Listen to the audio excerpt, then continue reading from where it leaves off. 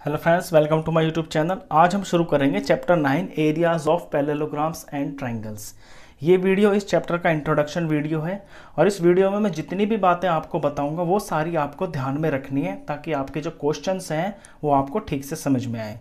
चलिए, सबसे पहले जो टॉपिक है figures on the same base and between same parallel lines इस बात को आपको समझना है कि ऐसी फिगर्स जो किसी सेम बेस पर बनी हुई हैं और सेम पैरेलल लाइंस के बीच में बनी हुई हैं।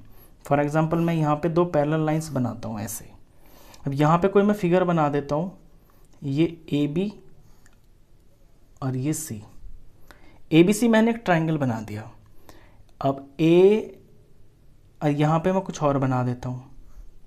For example A B P और क्यू मैंने एक ट्रपीजियम बना दिया, जो कि ए बी बेस के ऊपर है। अब ए बी बेस के ऊपर A B P Q trapezium भी है और ए बी बेस के ऊपर ए बी सी भी है। तो ऐसी जो फिगर्स होती है ना, जो सेम बेस के ऊपर होती हैं और सेम पैरेलल लाइंस के बीच में होती हैं। तो इन्हें हम बोलते हैं figures lie on the same base and between same parallel lines इसी से रिलेट आगे रिलेटेड जो है, आपकी थ्योरम्स भी हैं। चलो टॉपिक नंबर टू देखिए। Parallelograms on the same base and between the same parallels are equal in area. यहाँ से आपकी मेन चीज़ शुरू होगी जो आपको समझना ज़रूरी है। क्वेश्चन कहता है कि ऐसे दो पैरलोग्राम्स दो या तीन कितने भी हो on the same base and between the same parallels are equal in area.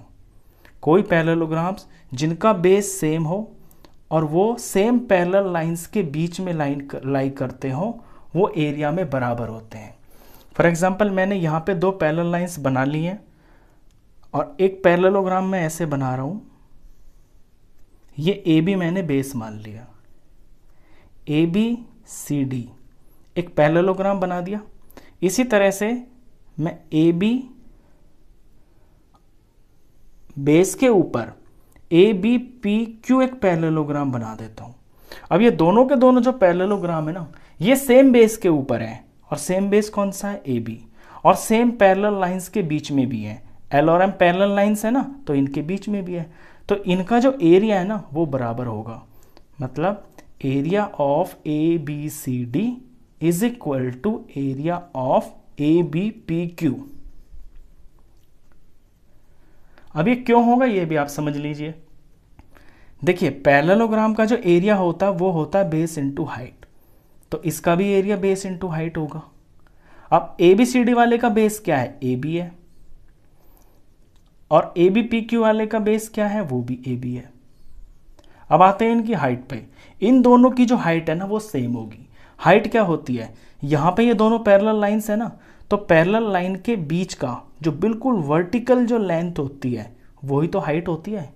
तो इन दोनों, ये जो पैरेललोग्राम्स हैं, इन दोनों की जो हाइट है, वो सेम है। अगर इसकी मैं हाइट देखूँगा तो जो 90 डिग्री पे पड़ेगी, वो वही तो लेंथ होगी जो इन पैरेलल लाइंस के बीच का गैप है।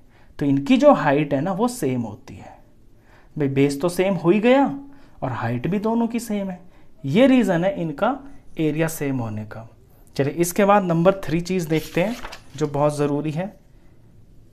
थर्ड पॉइंट है two triangles on the same base और equal bases and between the same parallels are equal in area इसे भी समझते हैं। दो पैरेलल लाइन बनाई मैंने। Two triangles on the same base ये एक ए बी बेस बनाया। और इसी ए बी बेस के ऊपर और सेम पैरेलल लाइंस के बीच में मैंने ए बी सी एक ट्राइंगल बना दिया।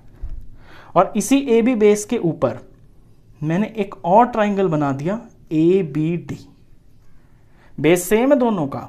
और ये दोनों की दोनों जो ट्राइंगल्स हैं, ये सेम पैरेलल लाइंस के बीच में है। तो इनका जो एरिया है ना, वो भी बराबर होगा। और यहाँ पे एक बात और भी लिखी हुई है, और इक्वल बेसिस अगर ये सेम बेस ना हो ना इक्वल बेस हो तो भी। फॉर एग्ज़ाम्पल जो ए बी है, ये मेरा थ्री सेंटीमीटर है। मैं यहाँ पे एक और बेस ले लेता हूँ थ्री सेंटीमीटर का। पी क्यू ले लेता हूँ, और यहाँ पे कोई ट्राइंगल बना देता हूँ। तो बेस की जो लेंथ है, वो तो सेम है ना। अब हम सेम बेस बोले या सेम लेंथ वाला बेस बोले? बात तो एक ही है। तो इनका जो एरिया वो भी बराबर होगा। उसका रीजन क्या है? उसका रीजन भी देख लीजिए। देखिए, यहाँ पे area of A B C बराबर होगा area of A B D triangle का एरिया क्या होता है? हाफ़ बेस इंटू हाइट तो इसका भी हाफ़ बेस इंटू हाइट अब हाफ़ हाफ़ तो है दोनों तरफ़। और बेस इसका बेस भी ए बी है। और इसका बेस भी ए बी है। और रही हाइट की बात तो हाइट आप समझ गए कि पैरेलल लाइंस के बीच का जो बिल्कुल गैप होता है, एकदम परपेंडिकुलर गैप वही हाइट होती है। तो इनकी जो हाइट है, वो अपने आप में सेम है। क्योंकि ये दोनों के दोनों ट्राइंगल्स जो है ना, ये सेम पैरेलल लाइंस के बीच में लाइक कर रहे हैं। तो इसलिए इनकी हाइट सेम है तो इनका एरिया भी सेम होगा। मोटी सी बात ये समझनी है कि जो ट्राइंगल सेम बेस पे और सेम पैरेलल लाइंस के बीच में लाइक करते हैं, उनका एरिया बराबर होता है। चल इसके बाद जो फोर्थ टॉपिक है, उसे समझते हैं। Two triangles having the same base दो ट्राइंगल जिनका सेम बेस है, या इक्वल बेस बोले and equal areas lie between the same parallels तो ये इसका जस्ट उल्टा है, जो भी अभी हमने ऊपर पढ़ा है ना थ्योरम 9.2 ये उसका उल्टा है। कहता है कि दो ट्राइंगल जिनका बेस सेम है, जिनका बेस सेम है और उनका एरिया इक्वल है। तो पैरेलल लाइंस के बीच में जो होंगी, वो पैरेलल लाइन सेम होंगी। तो ये तो उसका जस्ट उल्टा है, कोई नई चीज़ नहीं है। चलिए, इसके बाद जो फिफ्थ चीज़ है फिफ्थ पॉइंट जो है, वो बुक में तो आपकी नहीं लिखा है, लेकिन ये आपका सबसे ज़्यादा इंपॉर्टेंट है। When a triangle and a parallelogram lie on the same base and between the same parallels, then area of triangle is equal to half of area of parallelogram. इस बात को आप थोड़ा ध्यान से देखें, यही सबसे ज़्यादा आपका यूज़ होगा इस चैप्टर के अंदर। कहता है कि किसी सेम बेस के ऊपर अगर कोई पैरेललोग्राम लाई करता है सेम बेस और सेम पैरेलल लाइंस एलोरम पैरेलल लाइन बनाई मैंने ए बी बेस बना दिया अब ए बी बेस के ऊपर एक parallelogram A B C D है। और इसी ए बी बेस के ऊपर एक ट्राइंगल है ए बी पी तो जो ट्राइंगल का एरिया है ना, वो पैरेललोग्राम के एरिया का हाफ़ होगा। ये है इसका मतलब। अब हाफ़ क्यों होगा, ये भी बता देता हूँ। देखिए area of A B C जो है A B P triangle A B P है। ये हाफ़ होगा area of parallelogram A B C D के। क्यों होगा? क्योंकि पैरेललोग्राम का जो एरिया होता है, वो होता है बेस इनटू हाइट और ट्राइंगल का जो होता है, वो हाफ़ बेस इनटू हाइट अब हाफ़ और हाफ़ तो दोनों तरफ़।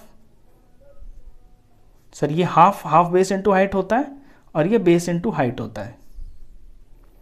अब इसका जो हाफ़ है, वो इसलिए है क्योंकि जब आप पैरेललोग्राम को दो जगह से काटते हैं ना, ऐसे, बिल्कुल डायगनल टू डायगनल करते हैं तो दो इक्वल ट्राइंगल बनते हैं।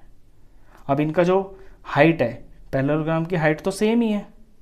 तो पैरेललोग्राम दो ट्राइंगल से मिलके बनता है। तो जो पैरेललोग्राम और जो ट्राइंगल जैसे कि यहाँ पे मैंने ये बेस मान लिया, ये जो ए बी है, ये मैंने बेस मान लिया। तो इस ए बी के ऊपर ही तो ये पैरेललोग्राम बना हुआ है।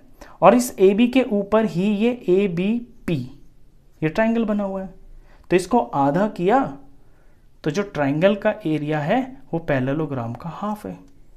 अब यहाँ पे जो हाइट है दोनों की, वो सेम इसलिए है क्योंकि पैरेलल लाइंस के बीच में है।